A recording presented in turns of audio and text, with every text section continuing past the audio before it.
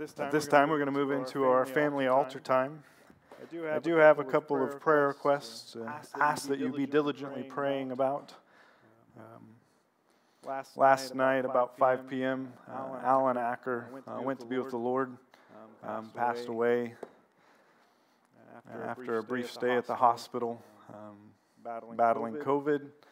Um, and so please pray for Sybil and the rest of the family um, as uh, she faces new steps forward. Uh, without the love of her life, she put a very uh, beautiful uh, just message to him on Facebook. Um, but Paula and Eric are here uh, with Sybil. Uh, but it's just going to take some time. Um, and so if you want to send a note of um, prayer, condolences, I know it would be appreciated. Uh, just pray for them. Also, uh, we got a, a, note from Deb. Um, Joe's brother, Tony, had a massive stroke uh, and is still dealing with uh, that. So uh, pray for the family. Um, pray for Tony, uh, just that he'll be healed, uh, that the Lord will work good out of a dire situation. Um, and also, just keep in mind, um, I know it's kind of on the back of our minds now, and kind of we don't see it as forefront anymore, but uh, we have left uh, the yellow and blue up because there's still a war raging uh, in Ukraine. and just continue to lift the people of Ukraine up and that the Lord will intercede uh, because we still need a miracle. But let's go to the Lord in prayer this morning. Um, maybe uh, you need to come to the altar and spend some time or stand, raise your hands, whatever it may be. Uh, but let's find a posture of prayer this morning. Lord, we've come into your house expecting to encounter you. And Lord, we know that you are here in our midst. And Lord, some of us have walked into this place with uh, clouds of, of darkness, of overwhelming emotions from the loss of a loved one. Lord, I pray for Sybil this morning. Bring comfort and peace to her.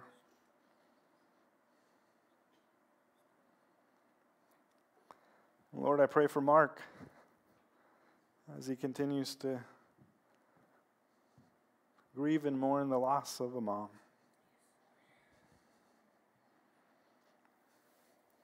Lord, and I pray for uh, the people of Ukraine.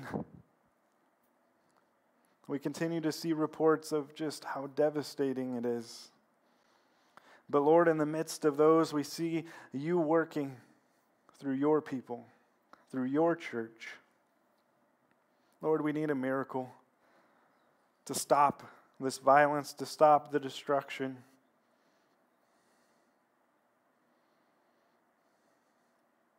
And Lord, we've got a number of people uh, dealing with sickness and medical issues. And, and Lord, I pray for Tony this morning. Touch his body. We don't know. I don't know the extent of what's going on, but Lord, I know he needs you to intervene. And Lord, be with the family. Provide all that they need. And Lord, anybody else that is uh, dealing with uh, just pain, frustration, uh, anybody waiting on a surgery, And Lord, I pray that as we uh, go in our daily lives, that we will find time to encounter you. Lord, not just in the still moments of prayer, but as we go about our life,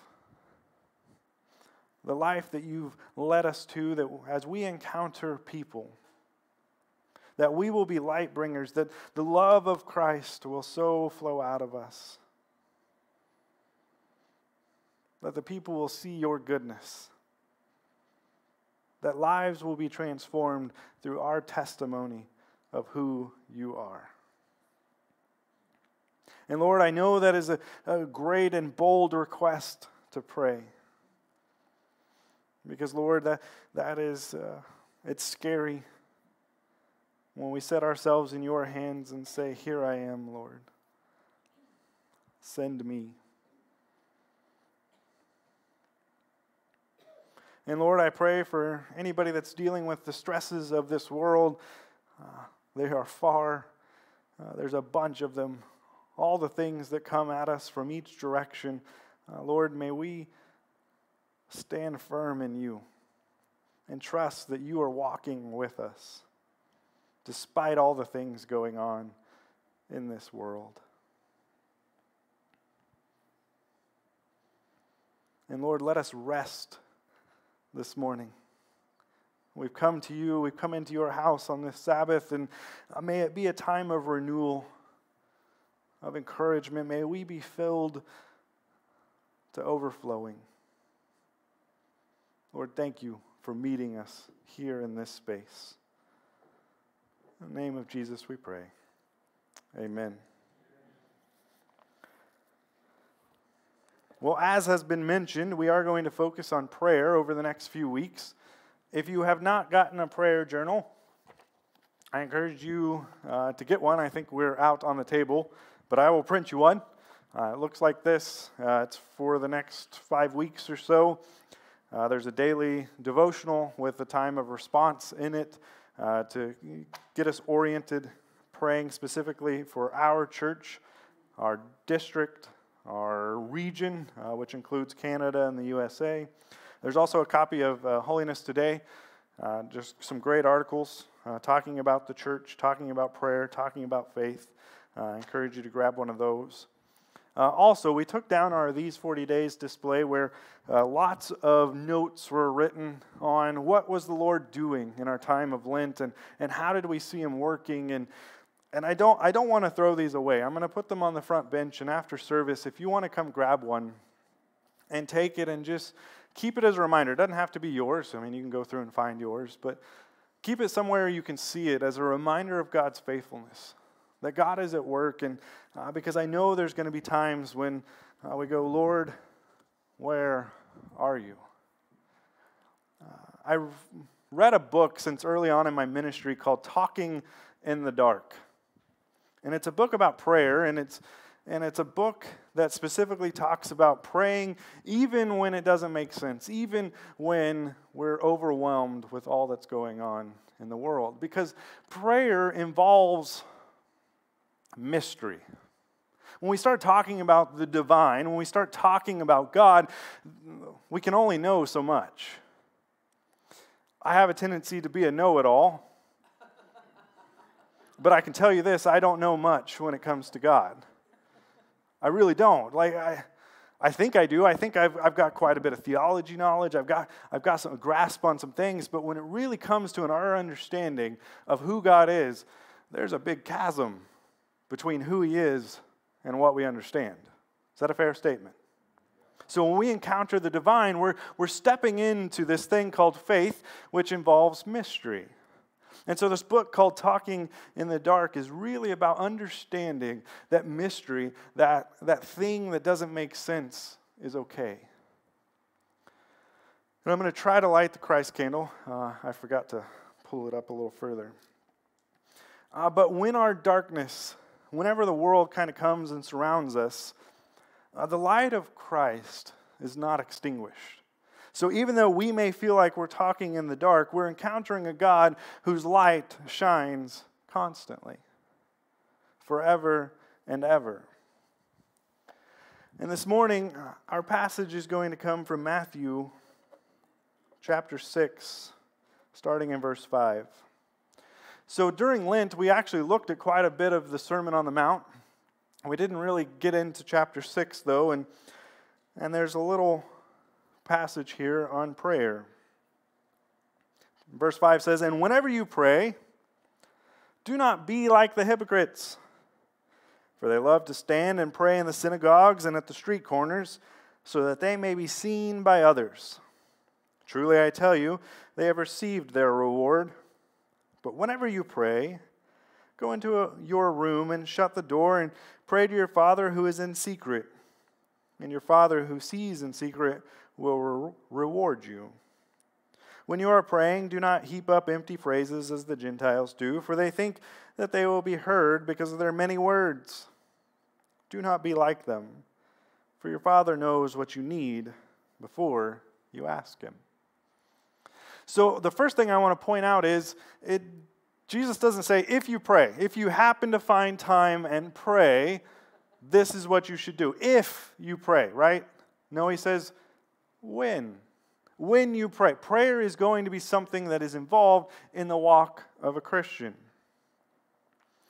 But we often assume prayer is natural, that it comes as easy as breathing. You didn't have to learn how to breathe. When you came out of the womb, you went, it's a natural response. And, and what do they want to hear in that, that room? What's the first thing you want to hear? Ah, screaming and crying, because what does that tell you? The baby's breathing. Breathing is something that is uh, just natural. We don't have to be taught, it's intrinsic. But another thing that we, we often say, oh, prayer should be like breathing, it should just be natural, should happen without even thought. But when we really start thinking about prayer, maybe we need to orient it that it's natural in the way that talking is natural. Because imagine you've got a young child and, oh, they say their first word. And what do we all hope it is? For me, ah, dada, come on. I want to be that. And the moms usually hope for, oh, mama. But if your kid says that first word, and, and hopefully it's not no. But when your kid says that first word, you don't go, all right, you spoke, it's over, it's done. Right? We just don't leave it there because imagine if the child's only word is no. I don't want to deal with that. No, but we have expectations that they have to learn and talk more and more. It's natural for them to talk, that's how we communicate, it's how we interact, but it's not something that just happens. We have to do work. Some of us need even more help. Tucker's had to have a, a speech therapist to help him pronunciate some words.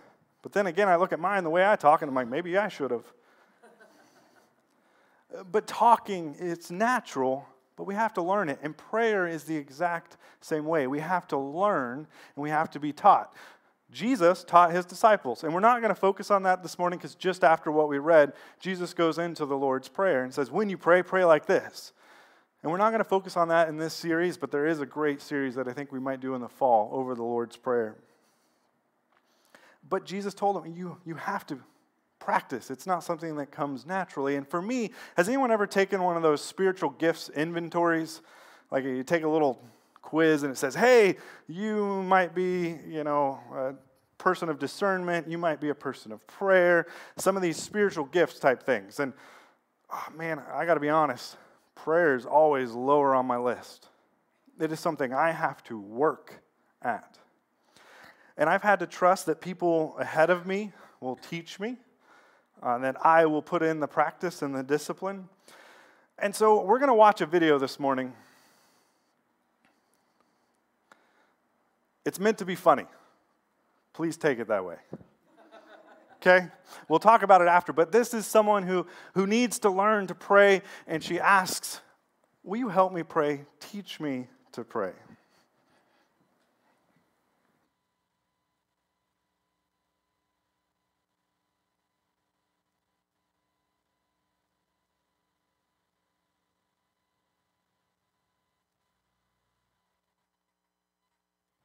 um, errors with his biblical knowledge. You're pretty accurate. there's slight things in there that it's like, oh, you know, Jesus did say he was going to send the Comforter, and the Comforter is going to come, and ah, but I don't remember those stories being meshed together that way, where we see Jonah and Noah and Peter all in the water at the same time. Uh, but this young lady asks Madea, so that's a character, uh, a guy by the name of Tyler Perry, created a bunch of movies, has this over the top character, Madea. Uh, they're quite funny. Um, if you ever want to check any of those out, that, that comes from a movie called I Can Do Bad All by Myself. Uh, but she asks, you know, hey, I, I'm dealing with this crisis. She's in the darkness, right? She's She's lost the one caregiver, the one person who loves her in her life, and she's got these siblings, and she's stressed, and she doesn't know what to do. And, and so she's like, I, I know that, that my grandmother used to tell me, pray about it. But she just told me to do it. She didn't show me how to do it. So she just told me that I'm supposed to do it. But so can you teach me how to pray? And then probably the wrong person to ask. Madea got off on all sorts of tangents, uh, but Madea did get in right in the middle of there. Said it's just talking to God. I don't think we need in Jesus' name to put a stamp on it, but just talking to God. A few years back, when I was a youth pastor in Oklahoma City, we had uh, a Wednesday night group, and we're sitting there and, and we're, we're having a conversation about prayer. What does it look like to pray? And, and one of the teens, he looks at us, he goes, Oh, you know, it's easy to pray. It's just like sending a text to God. That's all you got to do. Just talk to Him. That's it. And I was like, Well, yes, but I don't know if it's just that simple. Because I think one of the things that we do with prayer so often we talk to God and we talk at God. And that's what we just keep doing. We just keep going boom, boom, boom, boom, and we never go,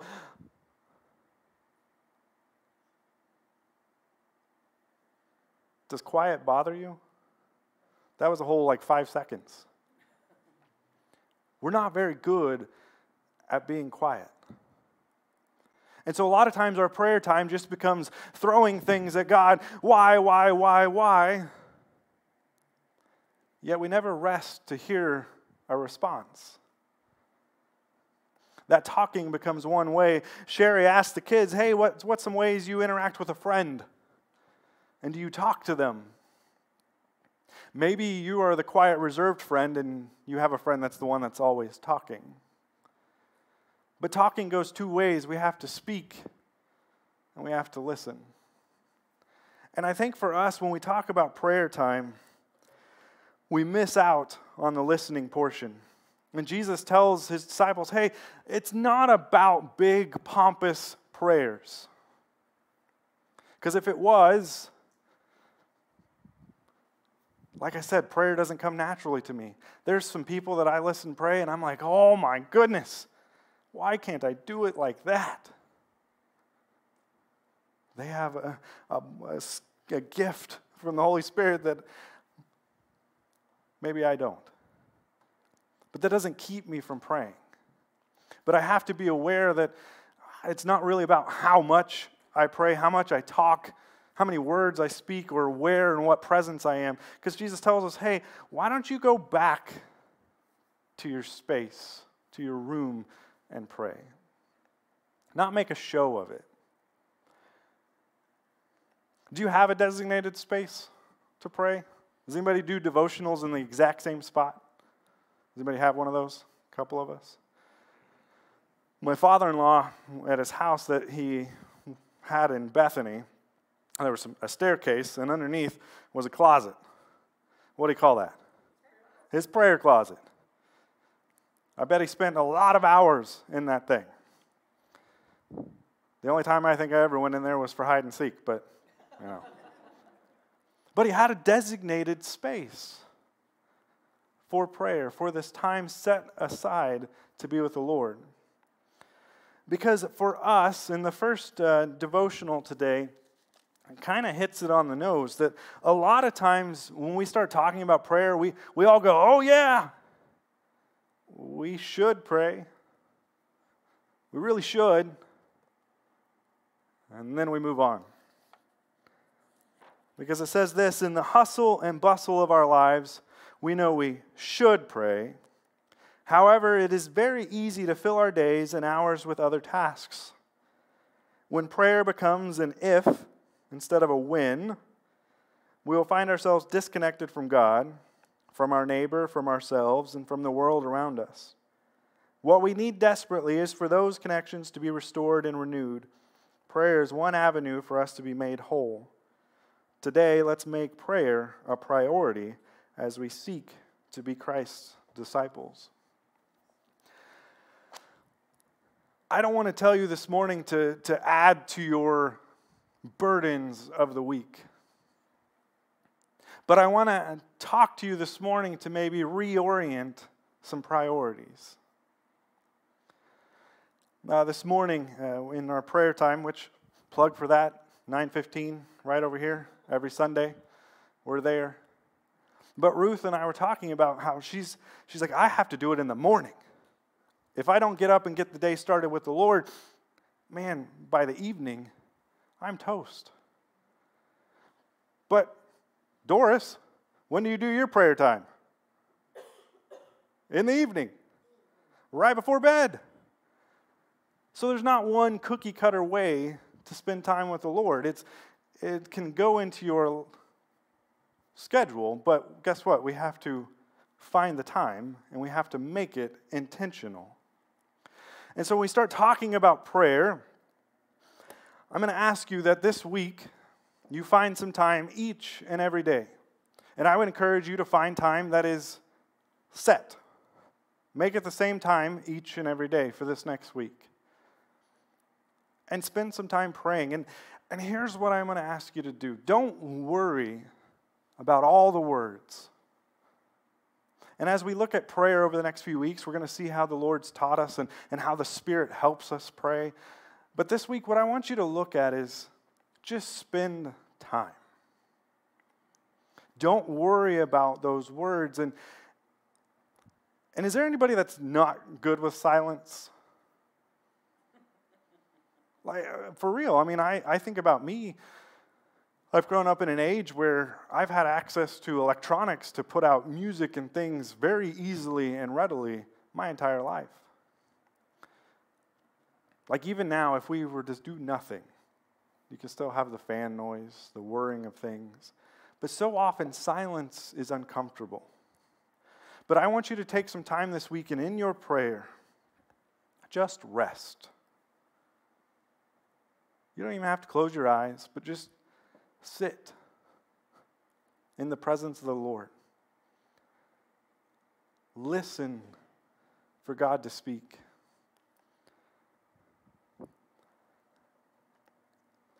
For most of us, it's not an audible voice that we're going to hear, but it's going to be a movement and a stirring in our hearts and our souls saying, I am here.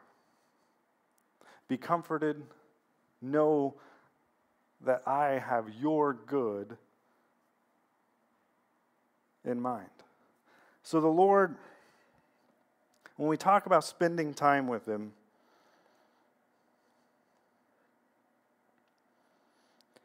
I think sometimes we want to do it all at once. So, a couple months ago, I decided I was going to work out again. And I did really well for about three weeks. And then guess what happened? Life. Mainly COVID. And then a toe fungus. Ugh. TMI? Sorry. But do you know how many times I've been to the gym since?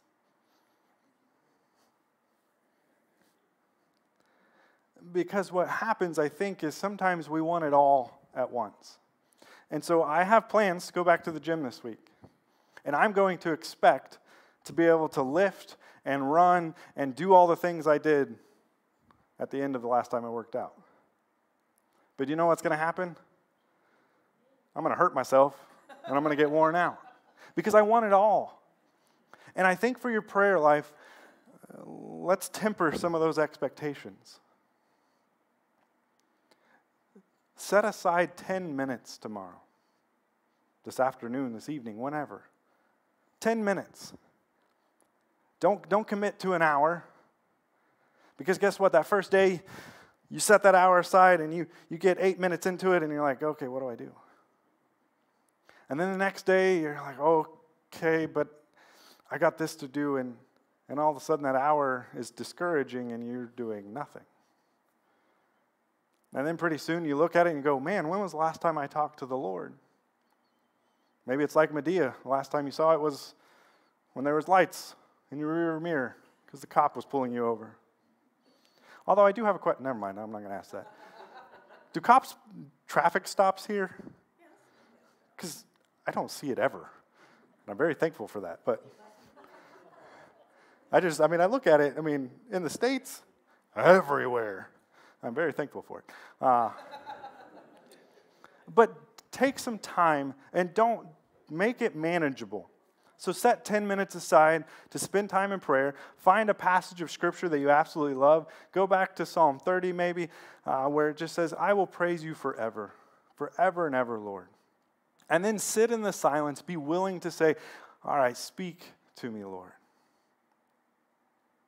And then do that again the next day and the next day. And when we come back together next Sunday, let's have a conversation about, man, guess what the Lord did this week in my time of quiet? Because I, I gave him some de- designated space in the hustle and bustle of my life. Because I know it doesn't matter what season of life you're in, from a child to retirement, we're all busy. Right, Craig? You don't know, Craig's newly retired, and I think he's busier than he used to be. Uh, but let's find some time this week. Maybe come back to this passage, Matthew 6, where Jesus is telling us, hey, when you pray, just spend some time with me. Come into my room, talk to the Father, let him speak to you. Because the Father knows. Be comforted in that. So this morning I'm going to pray for us. Our praise team is going to come back. Find that time to pray this week. Find the journal. If you don't have it, come ask me for it. I'll print it off. Before you even leave today, I'll go in and get it printed. Because I want you to have this. It won't take you long to do this each and every day. It might be enough uh, to set aside that time. But let's pray together each and every day this week. And let us come back with a testimony of what the Lord's doing in that quiet time. If you'll bow your heads, let us pray this morning.